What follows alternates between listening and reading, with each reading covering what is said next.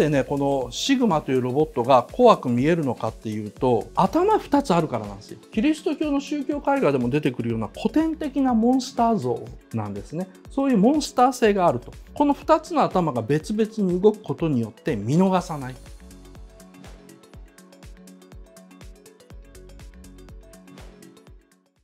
ガンダムとの共通点の、まあ、一つ目、登場型ロボットであるっていうですね。これがあの、今回登場するロボット兵のラムダですね。身長4メートルですね。この肩に乗ってるのが小山田真紀というですね、中に入って操縦するキャラクターなんですけども、もうほとんどこの人間が中に入れるとは思えないぐらいなんです。で、これちょっと嘘があって、人物小さいめに作ってるんですね。本当はもっと身長4メートルだからですね、人間でかいんですけどもですね、ちょっと小さめに作ってるんですね。設定見てみると、本店の表紙がこういう風になってるんですけども、ルパン三世最終回、泥棒は平和を愛す。これがまあ、本来やりたかったタイトルなんですけども、監督といってもですね、シリーズ構成の決定権ないんですね。シリーズ構成はもっと偉い人たちが持っていて、その人たちがタイトル決めるんですね。本当はこのタイトルでやりたかったんですけど、いろいろ細かいで設定書いてるんですけど、面白いのはですね、このボディに関してですね、金属ゴムって書いてるんだ。で、後にですね、このロボット編のデザインは、天空の城ラピュタで再使用されたんですけども、その時にですね、この首の周りのプロペラっていうのがなくなって、その代わりこの胸の位置に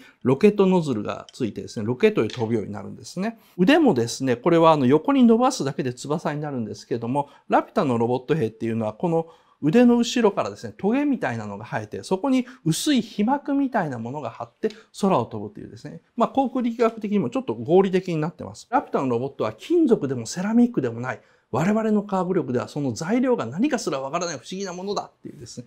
かなり SF 的にいい感じの設定になってるんですね。でも、この時はですね、金属ゴムっていうですね、なんだよそれはみたいな材料になってるんですけどもですね。で、なんといってもやっぱラムダの特徴はですね、コックピットが狭いことなんですよ。この人間が無理やり乗ってるからわかるんですけども、こんなポーズでですね、で、周りに機械とかケーキがもうギチギチに入ってるんですね。ここの後ろにこの見えてるちょっと茶色っぽいのが椅子ですね。小山田真紀が座ってて、で、空を飛ぶときは、まあ、こういう姿勢になるわけですね。横向きになったときにシートがこうなってて、もう本当にここに体育館座り座るんですね。三角座りして頭ここでですね。で、目の前のケーキを見てる感じですね。やや後ろから前を見た構図。で、これがやや前から後ろ側を見た構図ですね。シートがあると言ってもですね、水平に飛んでる時でも垂直に飛んでる時でも全く姿勢安定しない。とにかく体育館座り、三角座りでないと中にあのいられないんですけど、このシートの中にヒロインの小山田脇はですね、体育館座りしてるわけですね。なんでこんな風にしたのかっていうと、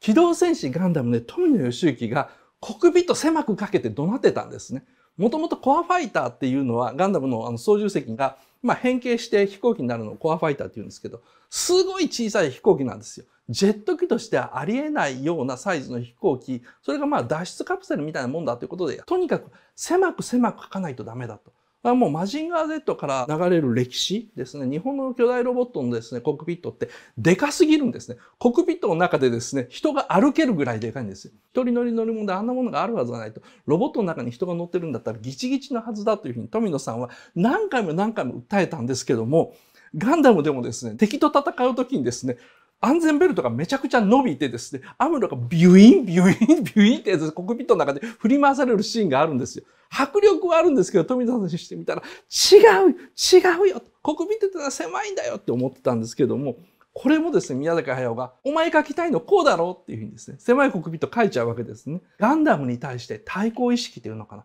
俺がやったらもっとうまくやると。絶対ね、宮崎駿言わないんですよ。マクロスが入った時もね、あんなもの見たこともないと言いながらすごい悪口が無限に出てくるから、お前見てるでしょっていうふうに僕は思ったんですけどもですね。見てるんですよ。で、自分もいいなと思ってるんですけど、やりたいと絶対言わないと。ただ、時々こうチラッと出すんですよね。二つ目ですね。暗い主人公。機動戦士ガンダムのアムロ・レイっていうのは、これまでのロボットアニメの常識破りのですね、反抗期の少年、それも暗い反抗期の少年を主人公にしたんですね。で、それに対してルパンのこの小山田真紀っていうのはですね、お父さんの復讐をするためにロボットに、やっぱ嫌々乗り、戦う美少女なんですね。どっちもお父さんの作ったロボットに嫌々乗るっていうことは、あの、共通してるんですよ。エヴァンゲリオンに至るまでの日本のあの、ロボットアニメの流れですよね。いかにして主人公というのはファーザーコンプレックスをどのようにこう乗り越えていくのかっていうのに結局は全部なっていっちゃうのがロボットアニメの主流の流れなんですけどだからそうでないロボットアニメっていうのはねなかなかね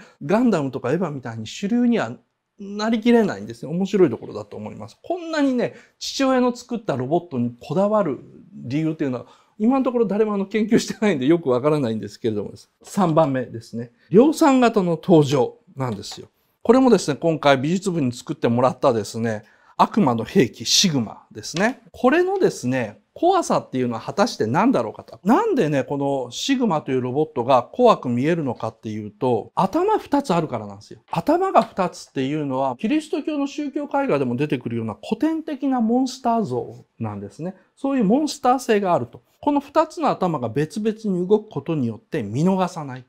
ラムダのその首がくるくる回って獲物を見逃さないというのも十分怖いんですけど、2つの頭がくるくる回ることによってですね、見逃さないんですよ。レーザー砲が2つついてるから攻撃力も倍なんですよね。で、おまけにこのレーザー砲のですね、ビームの威力もですね、半端なく増えてるんですよ。ラムダのレーザー砲っていうのは、例えば金庫室の金属の分厚いドアを貫通するだけなんですね。で、貫通して丸くくり抜くと、ゴトっていって金属がこう滑り降りるんですね。あくまで貫くだけなんですけどもですね、このシグマのですね、ビーム砲っていうのは当たったものを爆発させるんですよ。で、なんで爆発するのか。それは鉄の塊であっても爆発しちゃうんですね。でそれはあの天空の城ラピュタのですねロボット兵も同じでティディス要塞のですね鉄の塊の扉にですねビームが当たるとバーンと爆発するんですね科学とかあんまり詳しくない人はというか中途半端に知ってる人はなんで鉄の塊にレーザー当たっただけで爆発するんだ？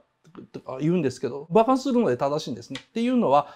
一瞬で圧倒的な熱量を与えられたためにですね固体の鉄が一瞬で液体になってその後一瞬で気体になるからなんですね。水蒸気爆発のようにですね、一瞬で固体が気体に切り替わってしまうので、鉄の扉であっても爆発するように溶けるわけですね。この辺はあの、シン・ゴジラでですね、え、ビルがビームでないだ時にですね、ビルの内部から爆発するような感じがあったと思うんですね。あれ何かっていうと、あまりの高熱のために蒸発してですね、気体化したから、ああいう爆発現象が起こるんですけども、これ、それなんですよね。もう一つのですね、怖く見える大事な理由っていうのは、自立式、つまり自分で立つという意味ではなくて、自分で考えて判断して人間の命令を受けずにですね、敵を探してですね、攻撃する。おまけに量産型であるってことなんですね。ガンダムに登場するロボット兵器もですね、ザクとかドムとか量産型登場してですね、主人公はアムロが乗るロボットもですね、ガンダムもですね、